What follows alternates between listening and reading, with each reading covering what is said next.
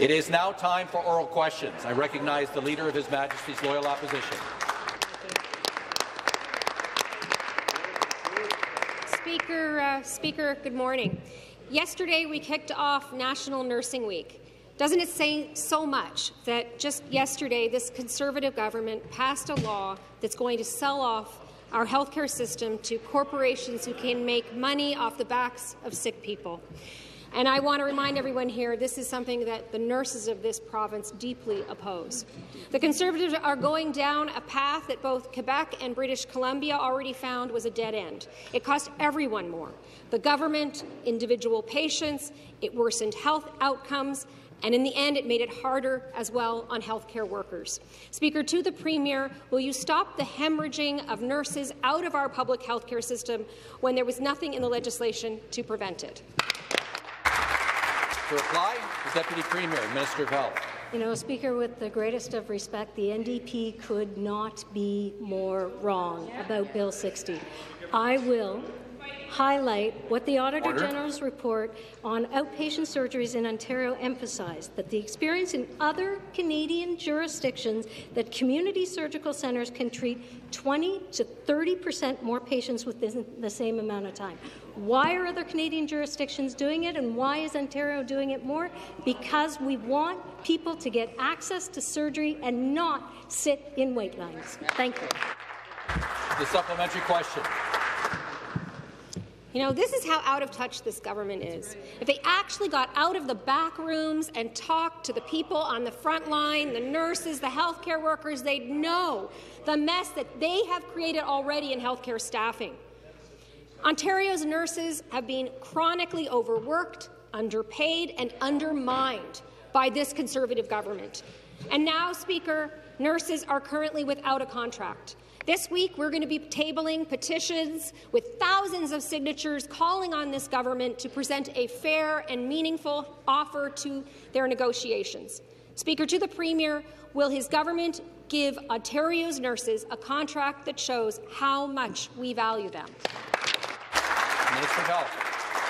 Thank you, Speaker. There is no doubt that we, in this side of the House, understand the very valuable, um, important role that nurses play in our healthcare system, which is, frankly, exactly why, at, at the beginning of the pandemic, we initiated a Learn and Stay program under the leadership of the College of Nurses Ministry.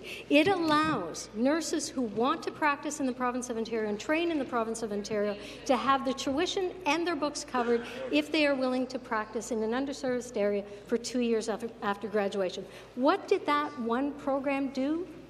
It ensured that we had the highest number of students applying for those programs. There are many, many people who want to practice in their communities, in healthcare, and we're going to enable that through our legislation. Thank you, Speaker. Final supplementary. Speaker, they are leaving Ontario. You cannot recruit into a broken program. With all of their efforts, we're going to be 33,000 nurses and PSWs short in this province, and that's a fact. Speaker, that response does not give me a lot of hope because while this government says one thing in this House, they say quite another thing to Ontario's nurses, and their actions speak louder than their words. This government continues to take our nurses to court. It's a fact. They're fighting with them and with other public sector workers over their unconstitutional wage restraint law. Speaker, to the Premier, will he celebrate National Nursing Week by ending his campaign to take Ontario's nurses to court?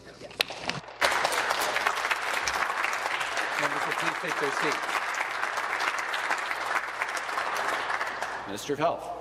Another thing that we did when uh, we came back after a larger majority victory in June was, in fact, talk to and work with our partners at the College of Nurses of Ontario.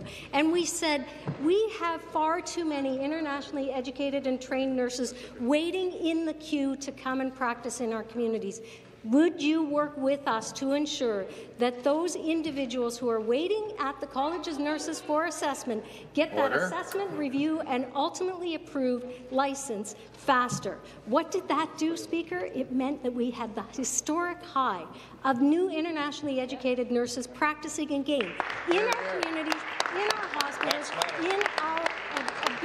to ensure that whether it is new nurses being trained, Response. internationally educated nurses who want to come to Ontario, we are doing the work here. Thank you, Speaker. Next question, Leader of the Opposition. Speaker, Ontarians are waking up today to news that expanded for-profit private healthcare is now the law of the land.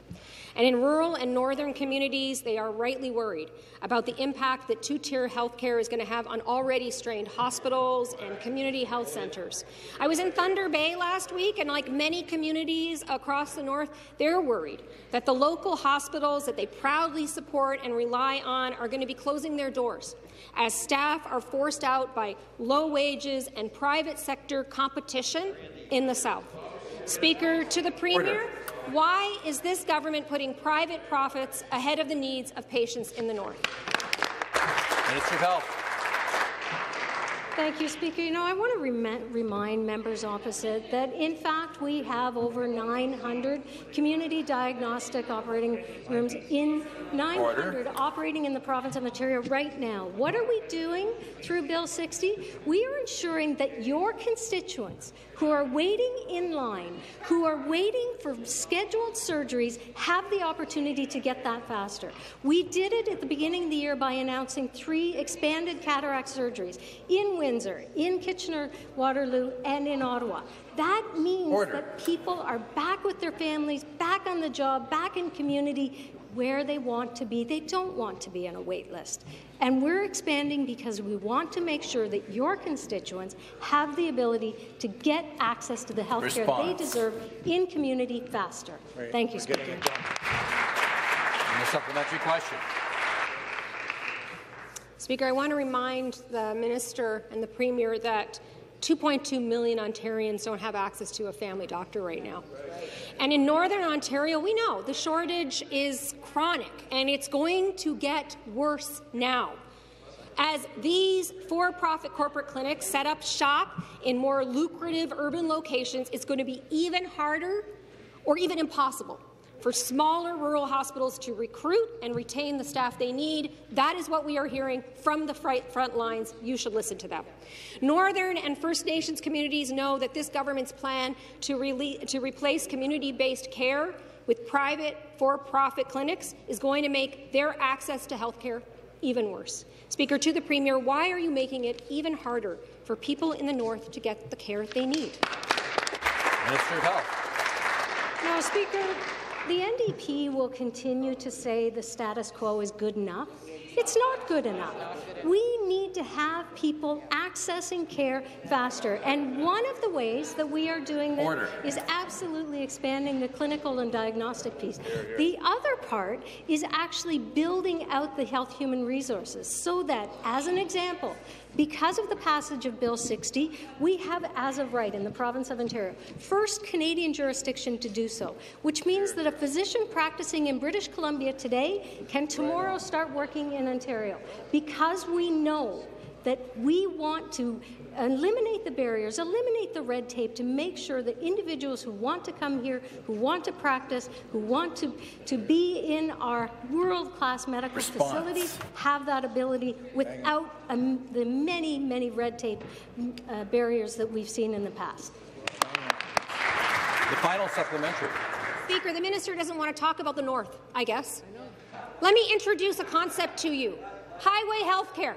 Highway health care is what happens when this government forces Northerners to travel long distances, sometimes thousands of kilometres, away from their families to receive the health care that they Order. need. The Northern Health Travel Grant gives them $100 for a hotel. Well, good luck finding anything for that price anywhere. And worrying about that when you're sick, just great. Speaker, to the Premier, if he's focused on destroying our healthcare system and more Northerners are going to have to travel even farther Order. to get the care they need, will he at least enhance these supports? Members will please take their seats. Minister of Health. Is the leader of the NDP suggesting that when we expand MRIs into new facilities, new communities in the north, in the south, in rural communities that have never had an MRI in their hospital before, that that is status quo that you're happy with? It is not. Our government is making the changes that will ensure that people will get access in their communities. And one of the ways that we're doing that is actually integrating the healthcare system.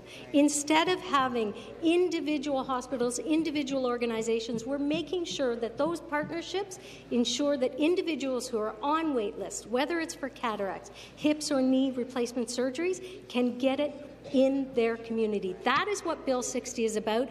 It is about challenging the status quo, ensuring and engaging in innovation that is frankly happening across Ontario. We're empowering hospitals to do that. Thank you, Speaker. The next question, the member for University Rosedale.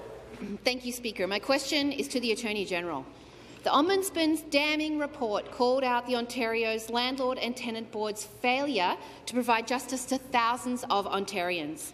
And the Advocacy Centre for Tenants Ontario has been sounding the alarm for years that tenants have been struggling to participate in the LTB's online hearing process. We read in the Ombudsman report about a woman who waited 10 months for a hearing only to have trouble logging on on the day, and as a result her case was dismissed and her access to justice was denied.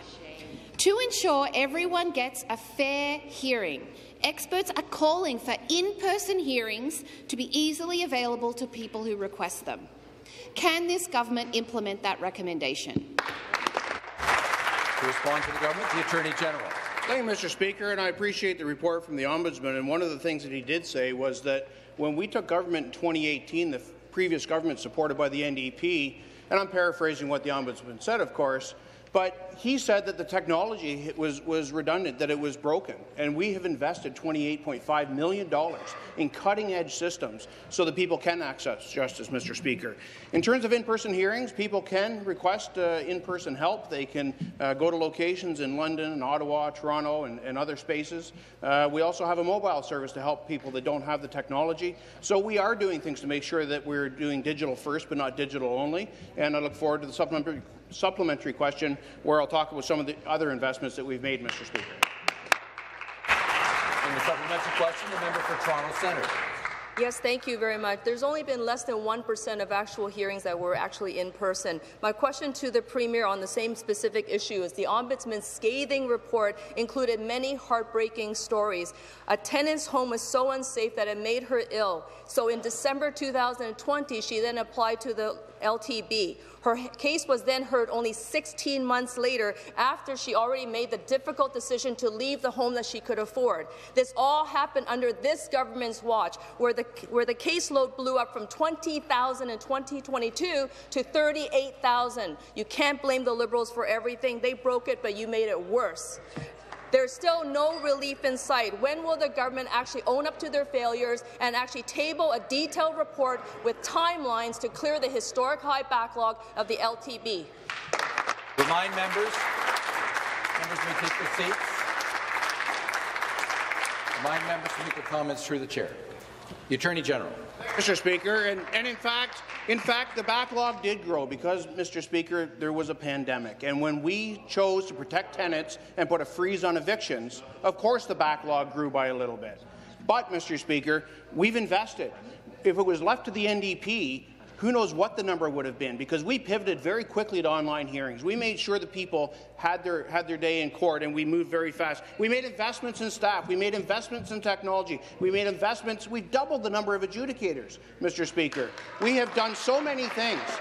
And let me tell you, Mr. Speaker, what, what the, the NDP have done, Mr. Speaker. They've said, no. They said, have hearings. Don't have hearings. Have them in person. Have them quick. Have them. Mr. Speaker, I think I'm going to start calling it the party of turnstile.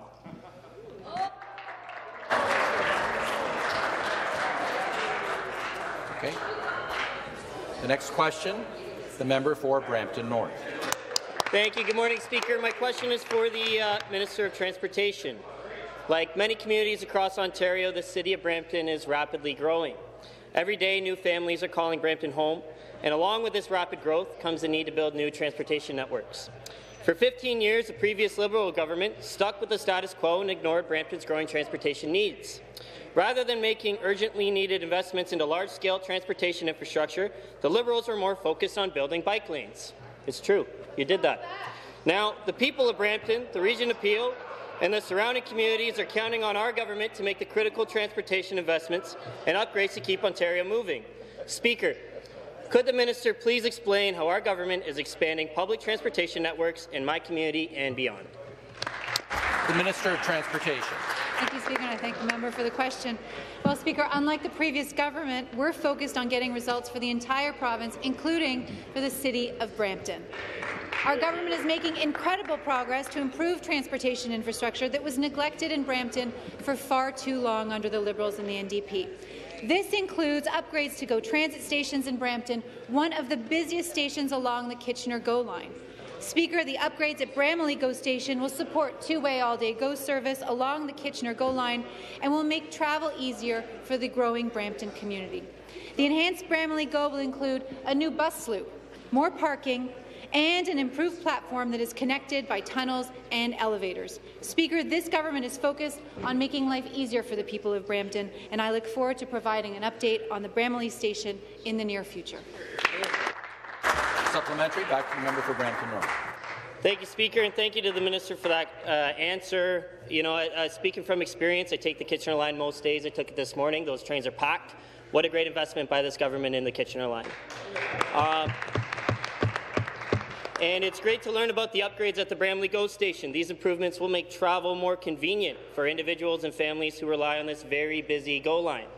The previous Liberal government failed to plan ahead for the growth and transportation needs of Brampton. Even now, Liberals and NDP are out of touch with reality, and they take every opportunity to oppose the transportation uh, solutions that Brampton needs, including the Highway 413. Guess they didn't learn their lesson from the last election. As a result, many residents and commuters are delayed every day Question. with the endless traffic congestion and gridlock, which causes frustration, but it's also a threat to our province's economic prosperity. Speaker, can the minister please explain how our government is addressing the urgent transportation needs in Brampton and Thank you. Minister of Transportation. Thank you, Speaker. Well, I share the member's frustration. The NDP and the Liberals think they know what's best for Brampton residents. But if it were up to them, nothing would get built. Order. And that is unacceptable, Speaker. Speaker, Speaker, we have a balanced approach that expands public transit like Bramalea Go and that builds new highways like Highway 413. Speaker, in the last election, the, P the people of Peel and Brampton spoke, and our government is listening. Hear, hear. Speaker, I hear your firsthand from residents in Peel region that the impact that gridlock is having on their lives, on their economy, is unacceptable. We won't stick with the status quo, Mr. Speaker. We are building Highway 413. Speaker, now is the time to act, and now is the time Response. to build. Order. The next question, the member for Nickel Belt. Thank you, Mr. Speaker. My question to the Minister of Health. Speaker, last week the Canadian press received Freedom of Access of Information's document from the Minister of Health that said, and I quote, Ontario's lack of a long COVID strategy has led to fragmented clinics that offer little to no support to patients. Ontario does not have a coordinated approach to care for patients with post-COVID condition, the Health Ministry Strategic Policy Branch wrote.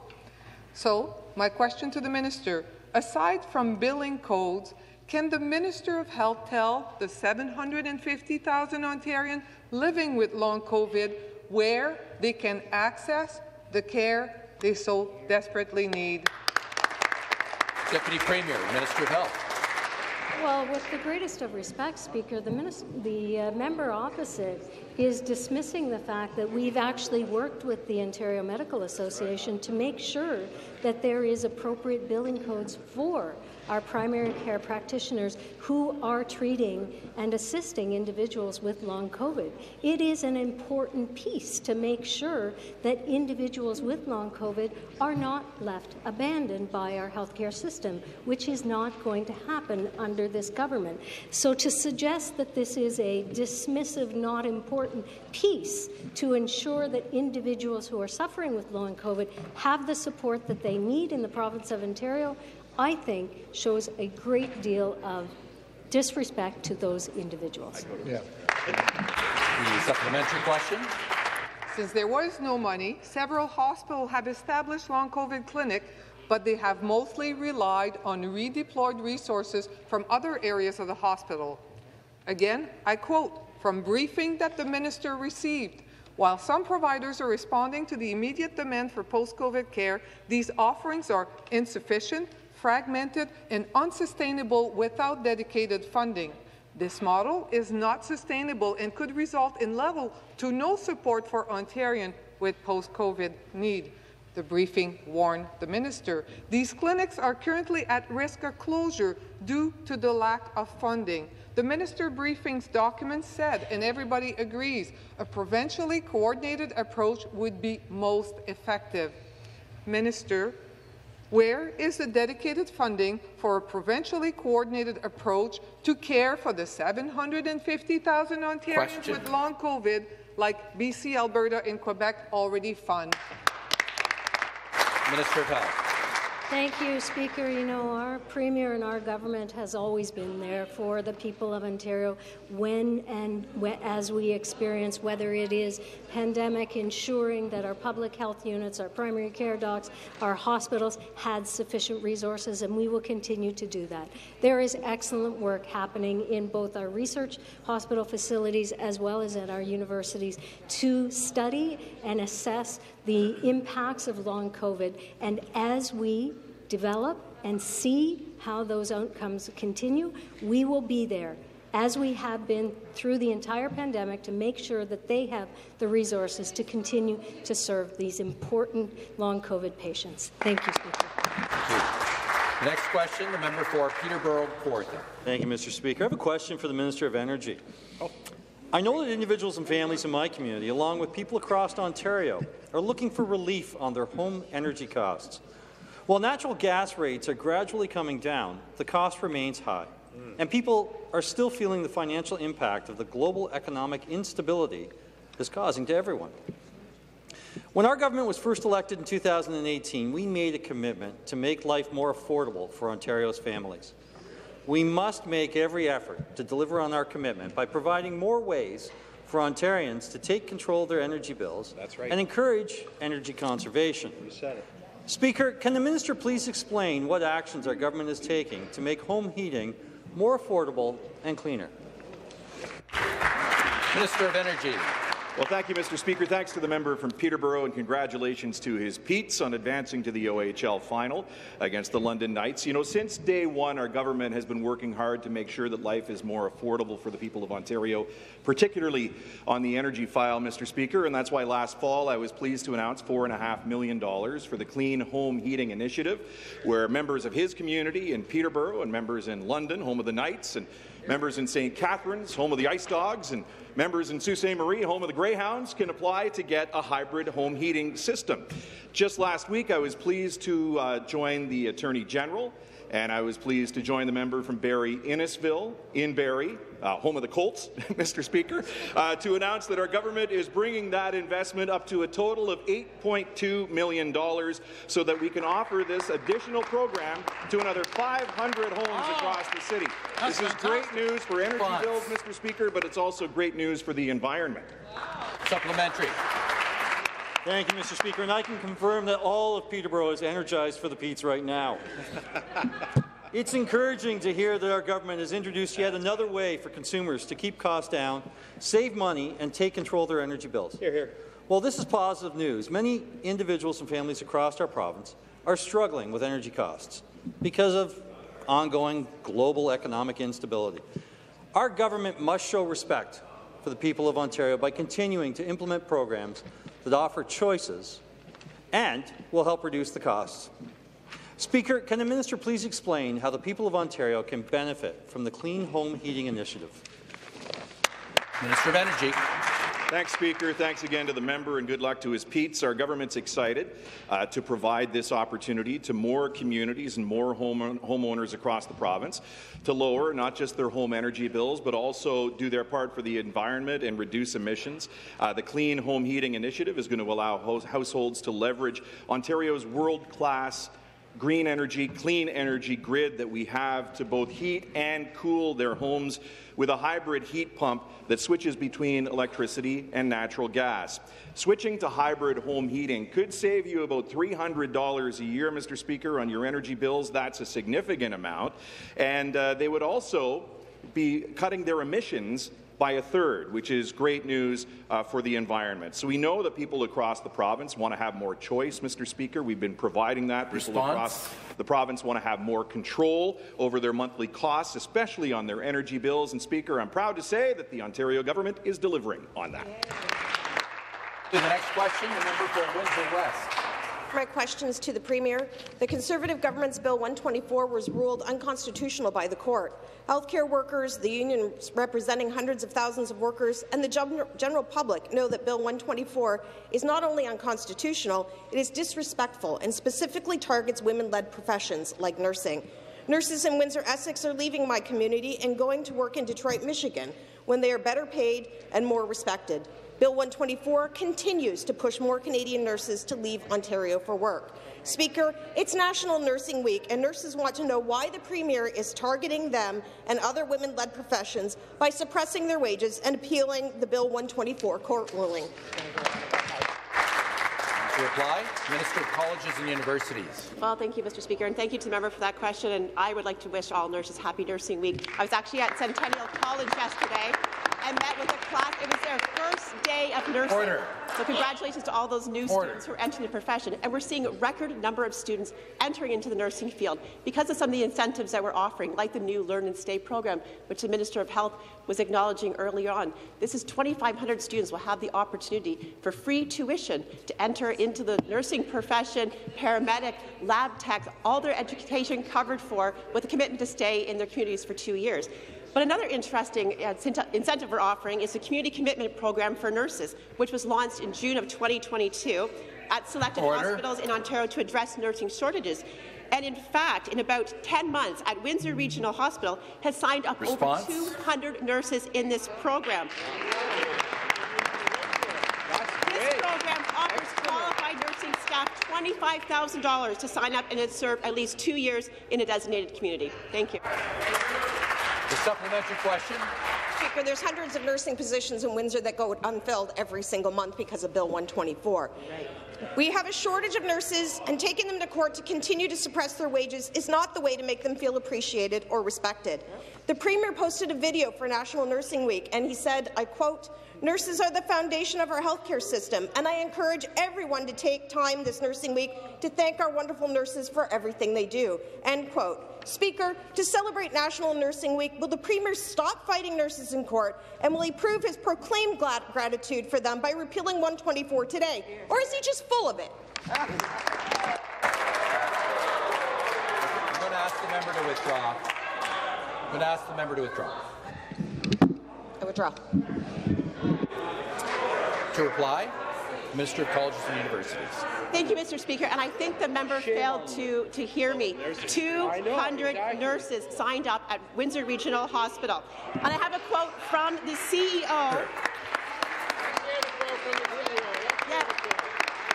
Quote from the CEO at Windsor Regional Hospital. It has been hugely Order. successful.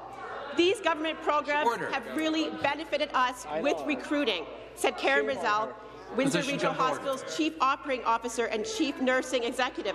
We have another Hamilton Mountain, come to 111 graduates starting this summer. That's a significant number. As the province expands, these strategies these are really important to maintaining our workforce. This is from Karen Riddell, Windsor Regional Hospital, in your riding. Stop the clock. Stop the clock.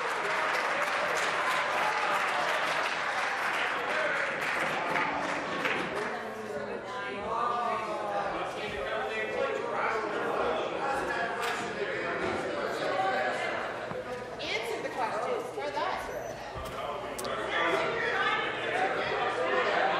The House will come to order. And once again, I'll remind members to make their comments through the chair. Start the clock. The next question, the member for Orleans. Uh, thank you very much, uh, Mr. Speaker. My question is for the Premier. Mr. Speaker, climate change is beginning to have a real and measurable impact on how we live our lives. In 2017, the City of Ottawa and communities along the Ottawa River were hit with flooding events that had not been seen in 50 years. Hundreds of residents were impacted, including in East Ottawa.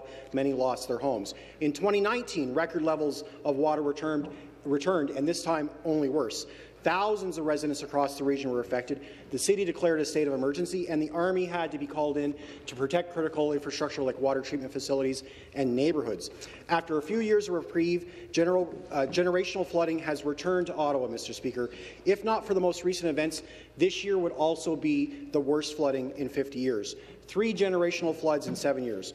Homeowners are tired, volunteers are burnt out, and this can't keep on happening. So, Mr. Speaker, what actions is, is, this government going to take to understand exactly what is happening, and more importantly, what are they going to do to stop it and protect residents from its impacts? The Minister of Municipal Affairs and Housing. Thanks, uh, thanks, Speaker, and through to the uh, member. Uh, the City of Ottawa staff uh, contacted our uh, municipal service office yesterday uh, regarding the uh, spring flooding and requested that a provincial disaster assistance team be deployed to assess the impact. Um, city staff noted that uh, to our ministry that the uh, the damage is localized, uh, but it's significant in some of the neighbourhoods around the Ottawa River. according to municipal staff, um, they've requested that the PDAT team come up. A meeting is scheduled with the city tomorrow and uh, as uh, all members know, uh, in the spring, um, there are going to be situations like we're experiencing uh, in Whitewater, um, in, uh, in the member for Renfrew-Nipissing-Pembroke's riding. Uh, my ministry office is available Response? in all regions of the province to reach out when a provincial disaster team is required. Supplementary. Well, thank you, Mr. Speaker. In 2017, after the flooding, affected homeowners were able to apply for disaster recovery assistance for Ontarians to cover the costs of cleanup, repair essential property, and their basic expenses.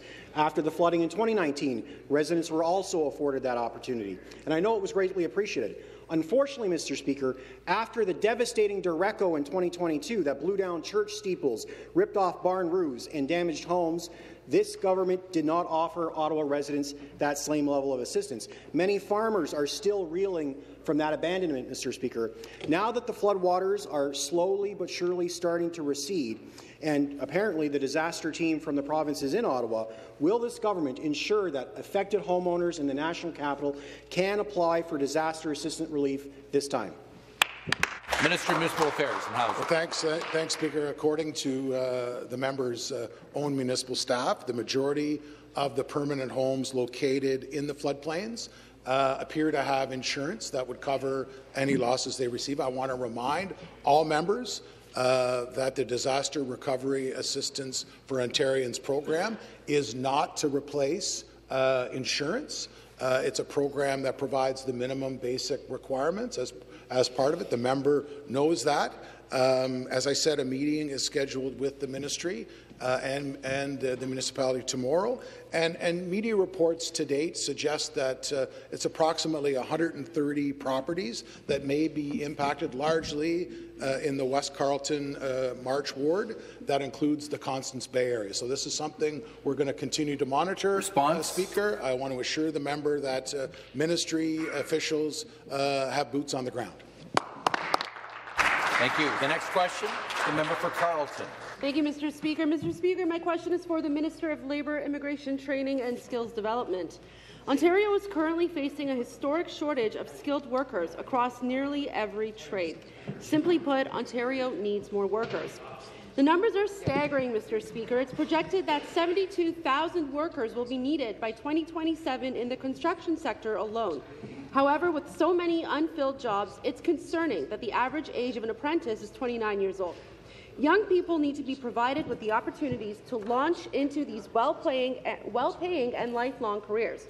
Speaker, through you, can the minister please explain how our government is supporting young people in gaining the skills they need to address our province's overwhelming demand for skilled tradespeople? Thank you.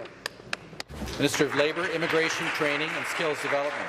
Thank you very much, uh, Speaker. I want to thank the member from Carleton uh, for being such a champion of those in the skilled trades. I remember, I remember being with the uh, member uh, with the local iron workers at the Iron Workers uh, Training Centre uh, in her riding, meeting two young female apprentices who really advocated for the government to improve washrooms and improve PPE for women. So I want to thank the member again.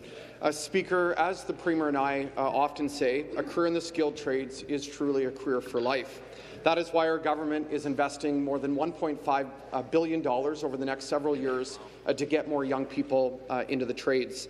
Today, Speaker, I'm pleased to be joined by Sir Janka Paul, Malik De Cruz, Alden Patterson, and Abraham Belisario, who are starting their careers in the skilled trades thanks to the innovative and game-changing Future Builder Scholarship powered by Scottie Barnes in partnership with the Skilled Trades College of Canada. Working with community leaders and role models like Scottie Barnes, we're going to continue to get more people into the skilled trades. The supplementary question. Thank you, Mr. Speaker, and thank you to the Minister. Mr. Speaker, when speaking about getting more people into the skilled trades and that the labour shortage is hurting Ontario's economic potential, we need to remove barriers for those who don't currently have jobs but who want to work. Most people who are unemployed or receiving social assistance want to work. Currently, there are nearly 700,000 people in Ontario who are on social assistance, many of whom are seeking employment. However, for some, some of these individuals, they may need assistance with retraining and other supports so that their skills better match the jobs of today. Our government must focus on implementing programs that provide practical help for individuals to secure a fulfilling career to support themselves and their families. So through you, Mr. Speaker, can the minister please explain how our government is supporting Ontarians in securing gainful work? Good Thank question. you. Mr. Labour. I want to thank the, uh, the member again for that question. Uh, Mr. Speaker, this is why we're changing our Employment Ontario system uh, for those on social assistance to ensure uh, that we're now buying work boots, we're buying uniforms, we're buying transit passes, we're sitting with those on social assistance to ensure that uh, they're writing resumes properly, that they know how to enter um, uh, interviews uh, to ensure that they can get uh, meaningful employment. Uh, Speaker, we've made a lot of changes to Employment Ontario throughout the province. In the three regions where we brought forward these changes, I'm proud to announce to the House today that 63,000 people have now gained meaningful employment across the province, filling labour shortages, but most importantly, Mr. Speaker, ensuring that people are providing more income so they can build families Response. around these careers. We're going to continue every single day working for those on social assistance by lifting them up, removing barriers to get into in-demand careers. Question, the member for Scarborough Southwest. Very much, Speaker. Speaker, last week we heard of a massive tragedy where an eight-year-old girl died after a hit and run outside a school in Burlington, Ontario. The girl was trying to cross the driveway to get to the school's entrance when she was hit by a car leaving the parking lot.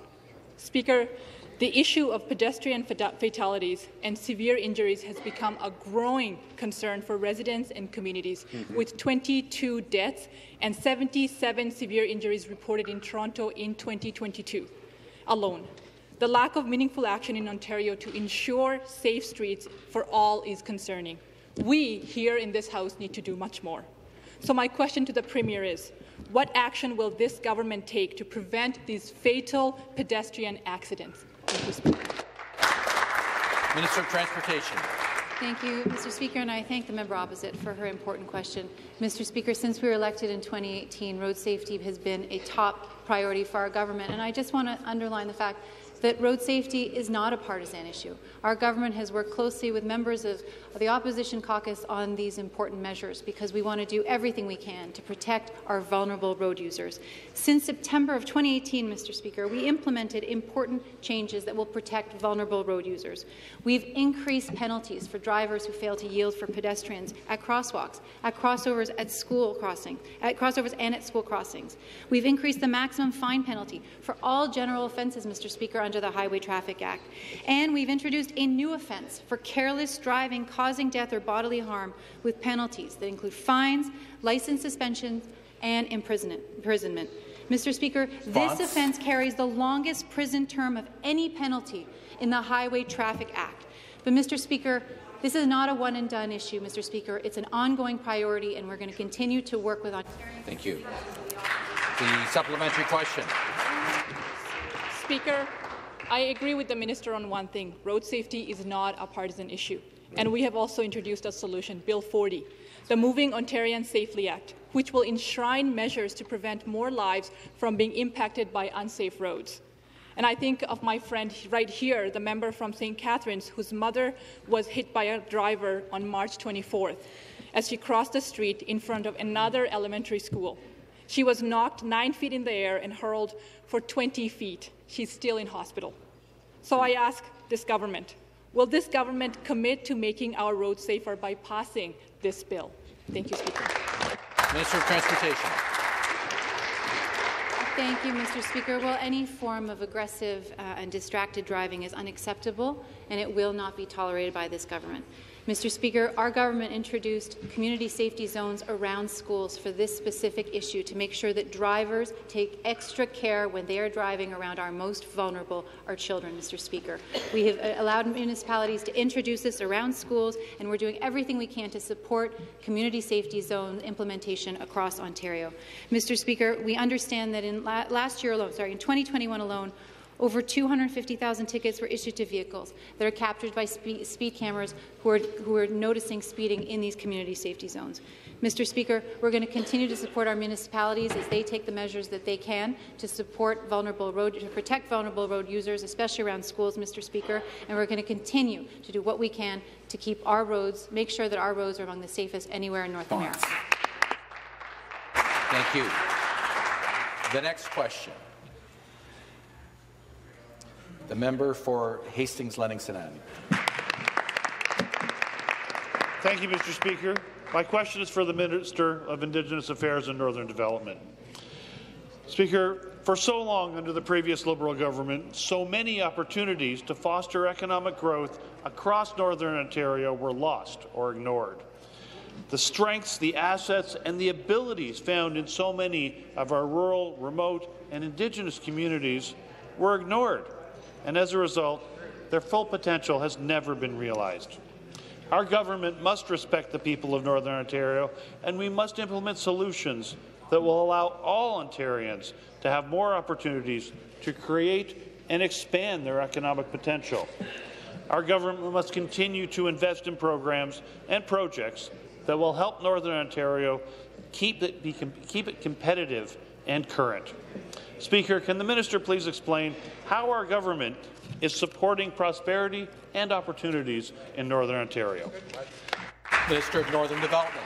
Thank you, Mr. Speaker. I'm going to try, but first I want to thank the member from Hastings, Lennox and Addington for his amazing job and the important contributions he makes to our caucus. You know, it's that time of year, uh, Mr. Speaker. Spring is finally here uh, across Northern Ontario and uh, leaders from across, uh, across our vast region uh, meet for, um, uh, for an opportunity to discuss best practices.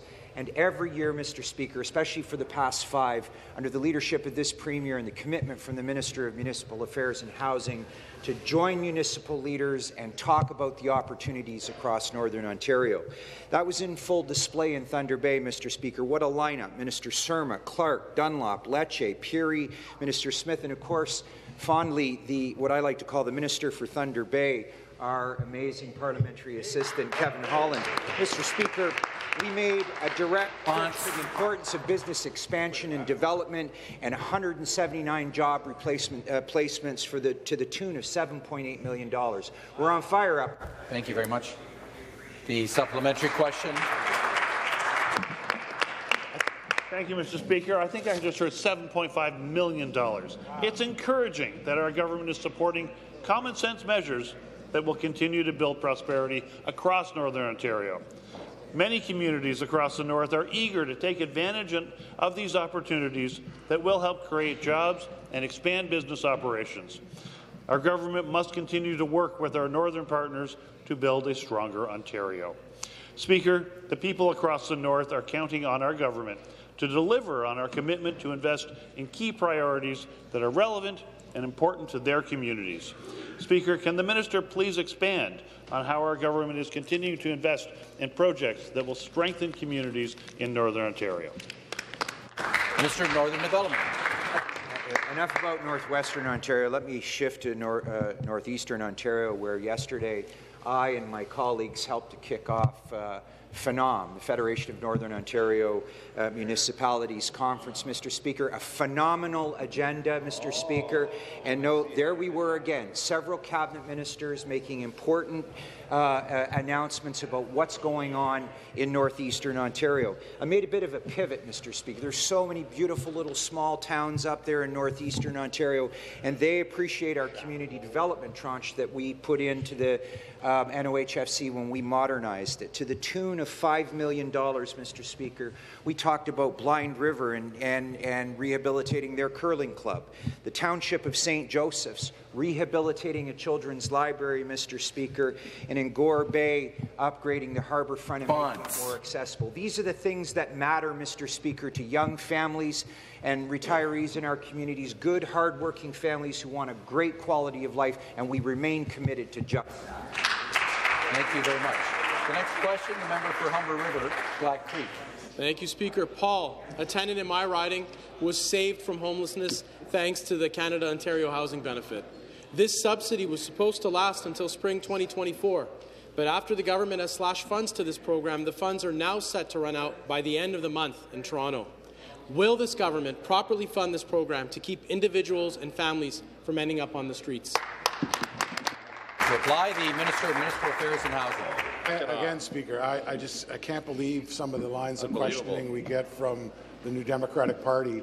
Uh, given the fact that we've increased our homelessness prevention program by $202 million, and in, and in the City of Toronto by an additional $48 million. You know, we, we continue to work with our service managers, and we continue to work with the federal government. It's interesting that this member asked the question about a cost-shared program under the Canada-Ontario Housing Benefit as part of the National Housing Strategy, where this member and his party refuse to stand up for tenants and citizens in asking for our fair share of federal dollars. We're being shortchanged $480 million by the federal government, Response. and the NDP continue to sit on their hands. The supplementary question. Thank you, Speaker.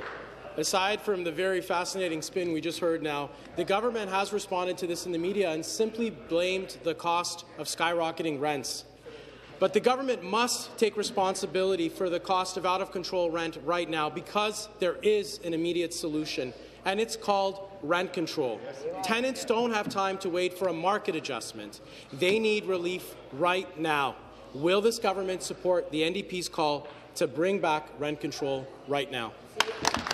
Minister of Municipal Affairs and Housing. You know, Speaker, two, day, two days in a row, and the NDP continue to talk about failed policies, right?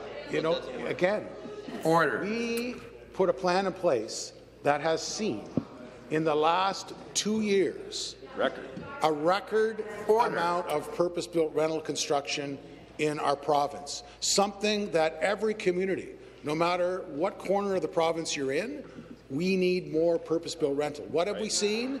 Last year, 2021, 15,000 new purpose-built rental starts. The year before, over 13,000, the highest we've seen since the early or since the mid-80s. Again, we continue to work with our municipal partners. We continue to put a plan in place. But again, Speaker, I want to remind this member, you know, the NDP have selective amnesia Response. when they come to the House. Here, here's, here's a party that continues to vote against all of the housing support that we give. They want high fees, high taxes Order. on our nonprofits and our affordable Thank you. The next question, the member for Newmarket, Aurora.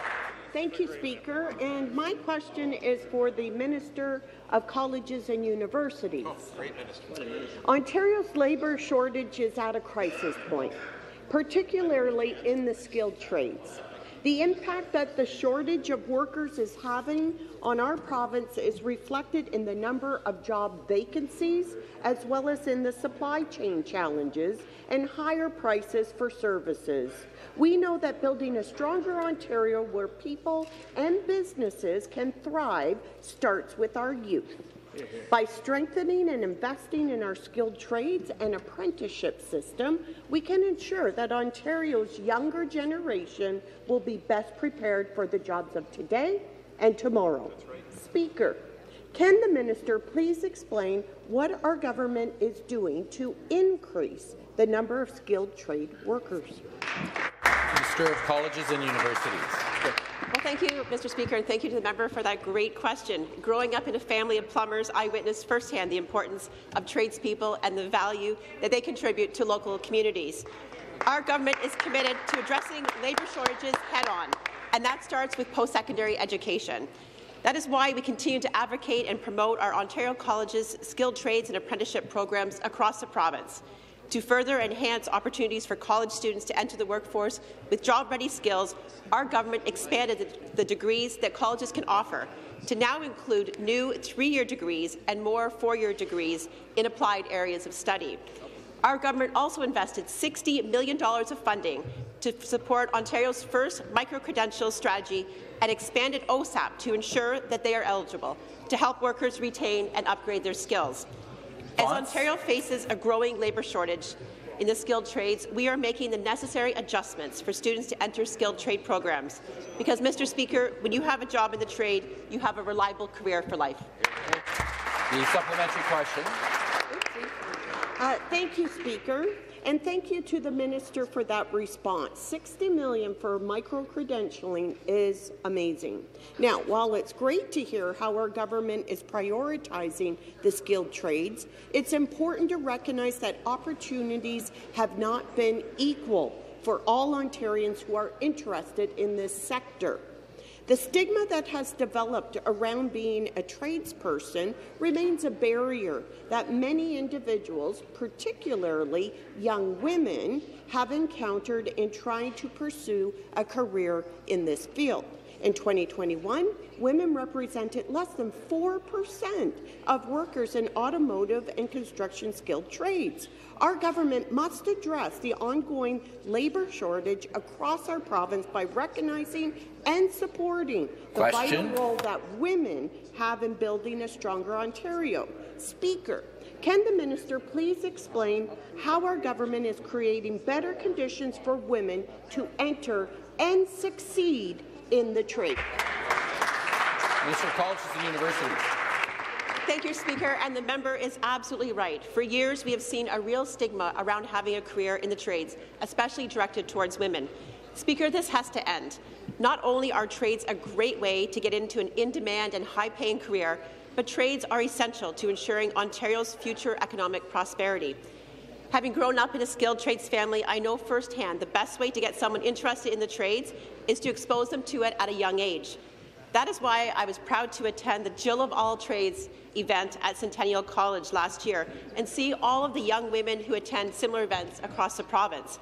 This is a one-day event at various college campuses where high school girls are able to experience rewarding career options in the trades and teaches them that the trades are an option for them. Speaker, it is projected that one in five new job openings in Ontario are likely to be in the skilled trades occupations by 2025. I'm proud that our government will continue to give women and all learners flexible. Thank you very much. The next question, member for Mushkegowuk, James Bay. Merci, Monsieur le Président. Le système scolaire.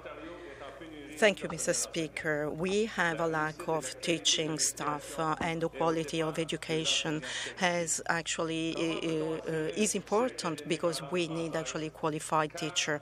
So, how can we make sure that we can face the need for uh, more teachers? The uh, councils that are actually put in place are very important, and after the pandemic, the situation has gotten worse. So we know in north of Ontario, the situation, for example, with the Laurentian University has become worse and worse. So the question is for the Premier, when are you going to organize and put in place the recommendations that were given to this government? Thank you very much. Le ministre de. Just first off, note we brought forth legislation to this House, the Better Schools and Student Outcomes Act. In that bill, responding to the concerns cited by the members opposite. We have required the Ontario College of Teachers to certify educators from the Francophonie, for example, by at least 50 percent uh, faster.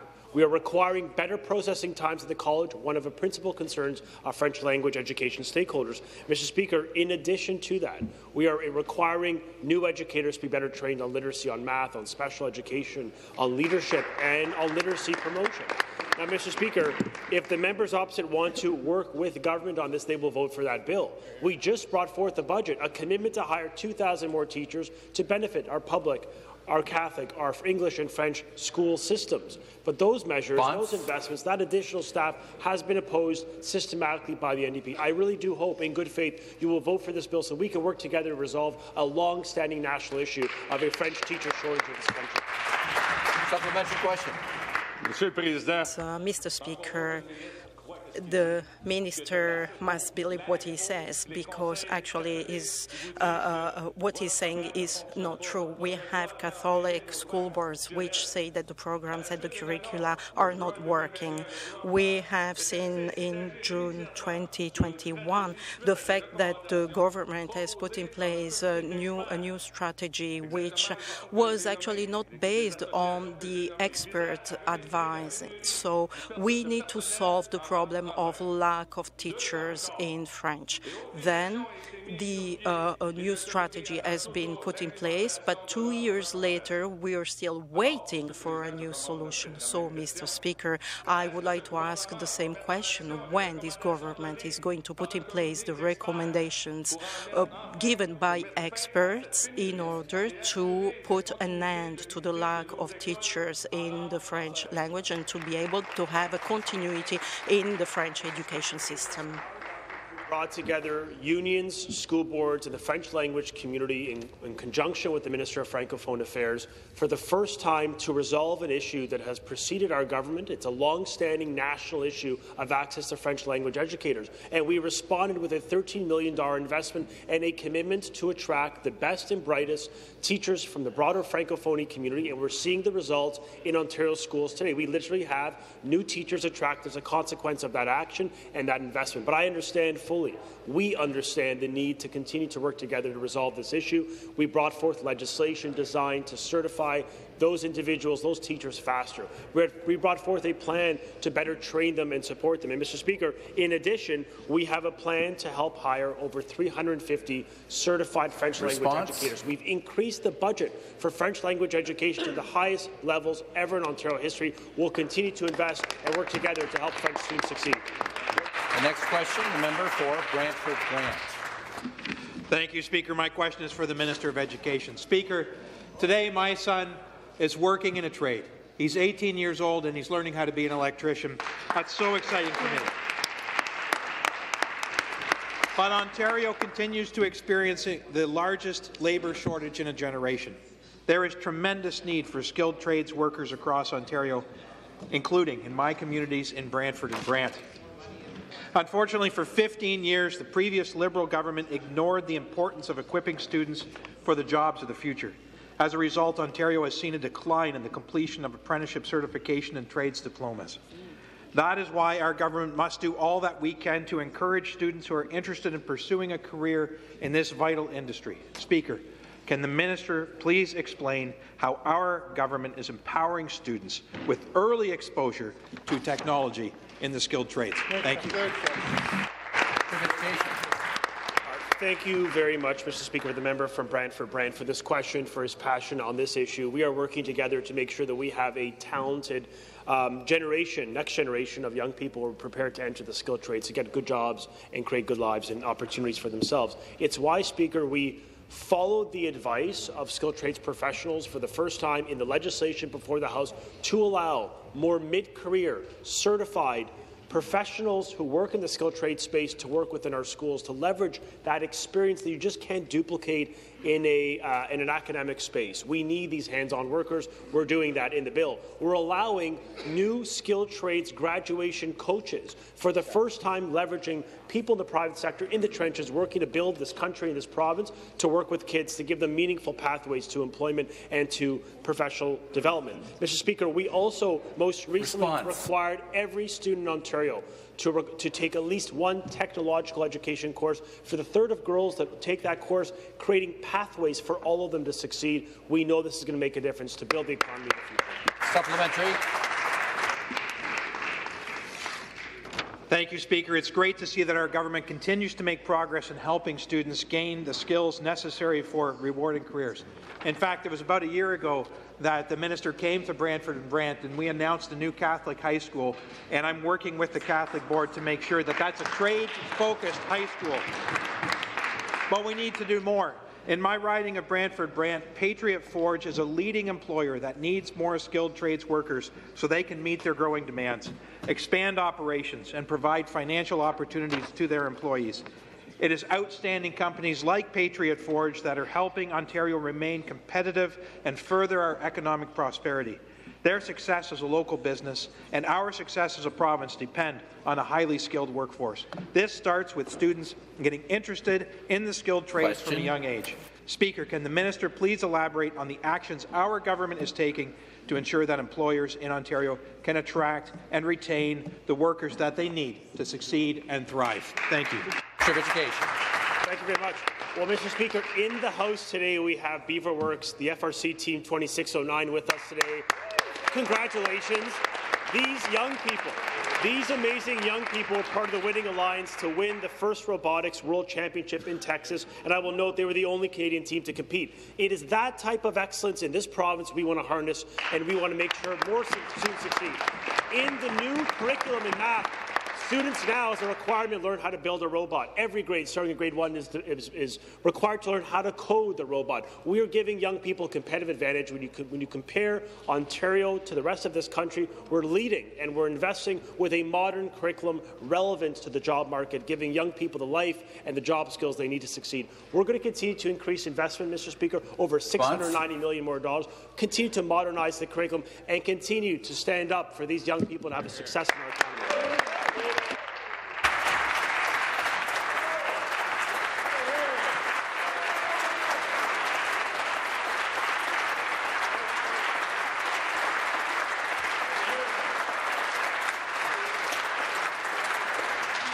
Time for question period has expired. A couple of members have informed me they have points of order. I recognize the Minister of Children, Community and Social Services first. Speaker, Speaker, I'd like to invite all members and guests to tonight's reception hosted by the Ontario Association of Children's Aid Society and the Children's Aid Foundation of Canada. And I want to spe- specifically thank CEOs Nicole Bonnie and CEO Valerie McMurtry. Sp- Speaker, the reception starts at 5.30 in room 228. I Hope everyone joins us. Thank you. And on the point of order, the member for Scarborough Southwest. Thank you very much, Speaker. Uh, I, I hope everyone will join me in also welcoming uh, more community members from Scarborough here with us today. Fazila Wedemeyer, Kareem Wedemeyer, Nilos Wedemeyer, Dayton Wedemeyer, and Amrik Wedemeyer. Welcome to your house. Thank you. There being no further business this morning, this House stands in recess until 3 p.m.